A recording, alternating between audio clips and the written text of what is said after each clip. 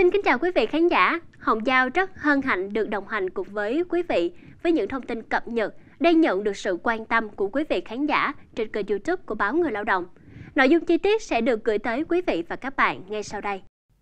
Sau khi sư Thích Minh Tuệ ẩn tu, nhiều người tiếp tục tìm đến gia đình ông để quay phim, chụp ảnh, đăng tải các video để câu view, câu like.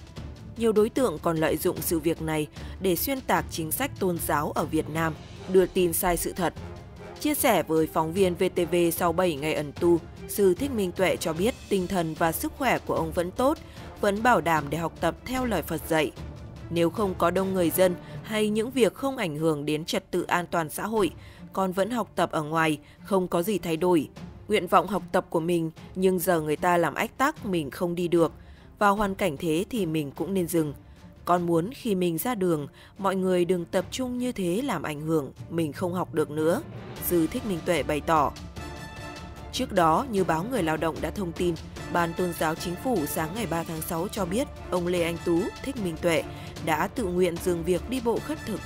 Theo Ban Tôn giáo Chính phủ, ông Lê Anh Tú, Thích Minh Tuệ, sinh năm 1981 tại xã Kỳ Văn, huyện Kỳ Anh, tỉnh Hà Tĩnh, nơi đăng ký hộ khẩu thường trú tại xã Iato, huyện Iagrai, tỉnh Gia Lai. Ông hiện không có địa chỉ cư trú cố định, chưa làm căn cước công dân, Giáo hội Phật giáo Việt Nam khẳng định ông Lê Anh Tú không phải là tu sĩ Phật giáo. Bản thân ông Lê Anh Tú cũng không nhận mình là tu sĩ Phật giáo, chỉ là công dân tu học theo lời dạy của Đức Phật. Bắt đầu từ năm 2017 đến năm 2023, ông Lê Anh Tú tự tu, thực hành hạnh khất thực đã ba lần đi bộ từ Nam ra Bắc và ngược lại. Trong suốt quá trình đó, việc đi lại và thực hành hạnh nguyện của ông Lê Anh Tú diễn ra thuận lợi, không có khó khăn, cản trở và không gây ảnh hưởng tới an ninh trật tự. Năm 2024 là lần thứ tư ông Lê Anh Tú đi bộ xuất phát từ tỉnh Khánh Hòa theo trục đường chính lên Cao Bằng, Hà Giang và sau đó đi chiều ngược trở lại đến khu vực miền Trung. Tuy nhiên, trong hành trình trở về của lần đi bộ thứ tư này đã xảy ra hiện tượng tập trung đông người đi theo ông Lê Anh Tú, gây ảnh hưởng tới an ninh trật tự và cảnh quan môi trường. Đặc biệt, ngày 30 tháng 5, đã xảy ra việc một người đàn ông trong đoàn người đi theo có tên là Lương Thanh Sơn, trú tại quận 1 thành phố Hồ Chí Minh bị sốc nhiệt, suy đa tạng, xuất huyết tiêu hóa, dẫn tới tử vong. Tiếp theo đó, ngày 2 tháng 6, hai phụ nữ khi đi theo ông Tú và đoàn người đã bị sốc nhiệt đuối sức nằm gục bên đường. Các cơ quan chức năng đã kịp thời đưa họ đến bệnh viện để điều trị. Trước sự việc đáng tiếc nêu trên, các cơ quan chức năng đã gặp gỡ trao đổi với ông Lê Anh Tú về việc nhà nước nhất quán chủ trương tôn trọng tự do tín ngưỡng, tôn giáo của mọi người. Chính quyền các địa phương đã luôn quan tâm tạo điều kiện để ông được đi bộ và hành trì theo ý nguyện, song cần phải bảo đảm an toàn tính mạng, sức khỏe cho người dân và sự ổn định xã hội. Ông Lê Anh Tú đã nhận thức rõ quyền và nghĩa vụ của công dân, tự nguyện dừng việc đi bộ khất thực, Vì đâu hành trình bộ hành khất thực của Sư Minh Tuệ trở nên ồn ào. Trước đây, ông Thích Minh Tuệ đã ba lần đi bộ theo hình thức thực hành phương pháp tu tập hạnh đầu đà từ miền Nam ra miền Bắc và ngược lại, nhưng không thu hút sự quan tâm của nhiều người. Tuy nhiên, lần thứ tư này, hành trình của ông Minh Tuệ đã thu hút sự quan tâm của đông đảo người dân, có thời điểm lên tới hàng trăm người đi theo, làm ảnh hưởng an ninh trật tự và giao thông trên các địa bàn. Sự việc Sư Thích Minh Tuệ trở thành hiện tượng hot trên mạng xã hội khi nhiều YouTuber, TikToker tụ tập quay clip, livestream làm xáo trộn cuộc sống, sinh hoạt của người trong cuộc, tạo dư luận nóng trong xã hội. Mặc dù Sư Thích Minh Tuệ đã đề nghị các YouTuber không đi theo, không tụ tập, không quay clip ông đăng lên mạng xã hội để ông lặng lẽ thực hiện đường tu, nhưng nhóm người vẫn bám theo trên mọi nẻo đường ông đi.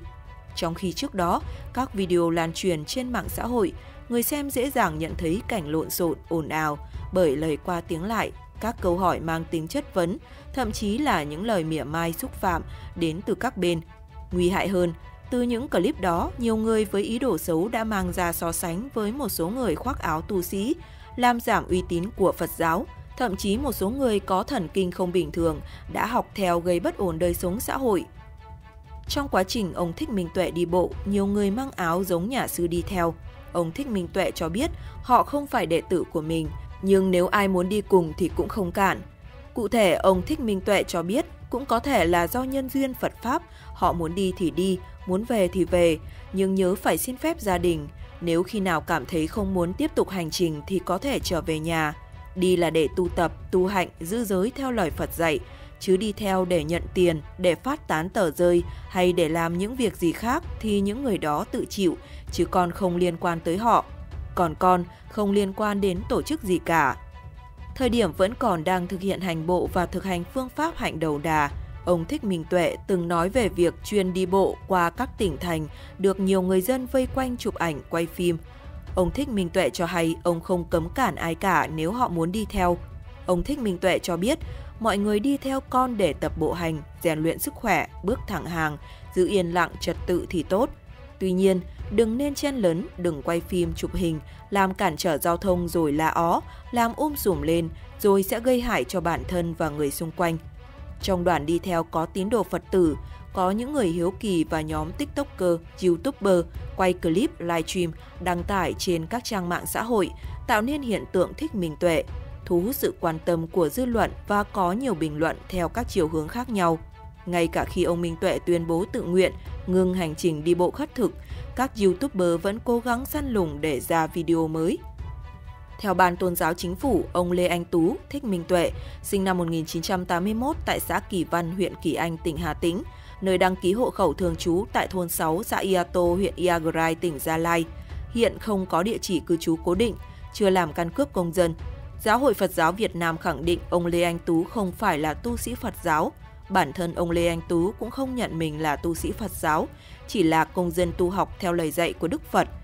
Ban Tôn giáo Chính phủ đề nghị Ban, Phòng Tôn giáo, Sở Nội vụ, các tỉnh, thành phố trực thuộc Trung ương quan tâm thực hiện tham mưu Sở Nội vụ, báo cáo Ủy ban Nhân dân tỉnh, thành phố chỉ đạo các sở, ngành chức năng quan tâm khi ông Minh Tuệ tới địa bàn, không để xảy ra tình trạng tập trung đông người, gây cản trở và ảnh hưởng an toàn giao thông, gây phức tạp về an ninh trật tự, đặc biệt không để các thế lực xấu lợi dụng, xúi dục, lôi kéo gây mất đoàn kết tôn giáo và vi phạm pháp luật – trao đổi với Giáo hội Phật giáo Việt Nam ở địa phương, hướng dẫn tăng ni Phật tử tu học theo đúng chính pháp của Đức Phật, tôn trọng quyền tự do tín ngưỡng, tôn giáo và cách thức hành trì của mọi người, nhưng cần đảm bảo thực hiện theo đúng quy định của pháp luật. Thông tin tuyên truyền để quân chúng nhân dân, tăng ni Phật tử và nhân dân hiểu về chính sách tôn trọng tự do tín ngưỡng, tôn giáo, về cách thức hành trì của Phật giáo, không cản trở, làm ảnh hưởng việc tu học đúng chính pháp,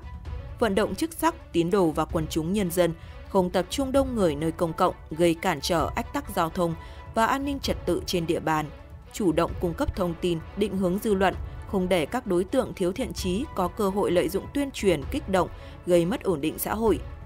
Trước những bất ổn làm ảnh hưởng đến tình hình an ninh trật tự, an toàn xã hội và an toàn của người dân, các cơ quan chức năng đã gặp gỡ, trao đổi với ông Lê Anh Tú về việc nhà nước nhất quán chủ trương tôn trọng tự do tín ngưỡng, tôn giáo của mọi người – chính quyền các địa phương đã luôn quan tâm, tạo điều kiện để ông Lê Anh Tú được đi bộ và hành trì theo ý nguyện, song cần phải bảo đảm an toàn tính mạng, sức khỏe cho người dân và sự ổn định xã hội.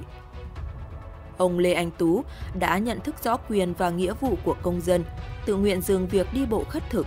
Qua sự việc này cho thấy cần có những biện pháp mạnh tay hơn để dẹp loạn YouTuber, TikToker trên mạng xã hội.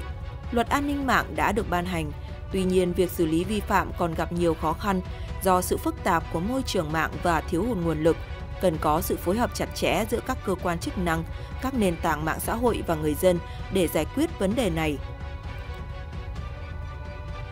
Những thông tin vừa rồi đã khép lại chương trình ngày hôm nay. Hồng Giao rất mong nhận được sự quan tâm và đồng hành của quý vị dành cho các chương trình trên kênh YouTube của Báo Người Lao động.